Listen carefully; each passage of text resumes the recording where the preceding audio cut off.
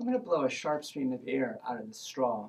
And when the straw, air from the straw goes around this ball, it's going to curve over the top. And so it's going to bend to go around the ball. Well, the ball pulls the air this way.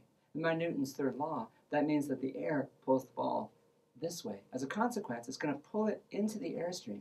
When it gets into the airstream, air is going to go around the other side, and that's going to pull it back, and it's going to make a stabilizing force. As the ball moves back and forth in the airstream, wherever the air is moving, it's going to be pulled back into the stream. And so it creates a stable pocket where the ball will ride very happily.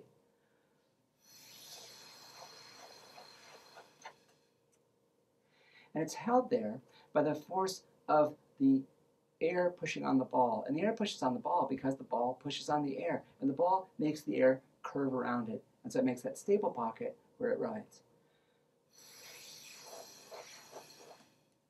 And we can do this bigger with a bigger blower. And here's this DataVac. And this is uh, meant to blow off computer keyboards. And it blows a pretty firm stream of air.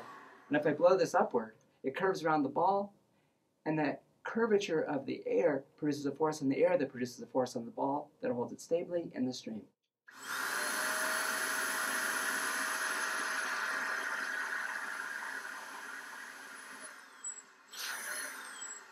The only crucial parts about the ball are there's two things. One, it's lightweight, and two, it's round. And so I can actually do this with a light bulb. And if I hold the light bulb like so, and I blow air over the top of it,